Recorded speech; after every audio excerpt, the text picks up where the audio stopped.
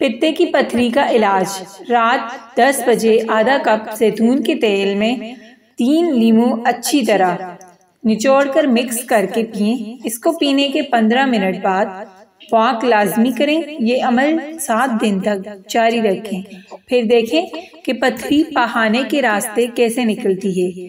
इस दौरान सेब का जूस ज़्यादा से ज़्यादा पिए। ये सेब ज़्यादा खाएँ। रोज़ाना एक पाव ताज़ा गाजर का जूस पिए। पित्ते में पथरी का मसला दरअसल नाकस गजा के मुसलसल इस्तेमाल करने से बनना शुरू होता है।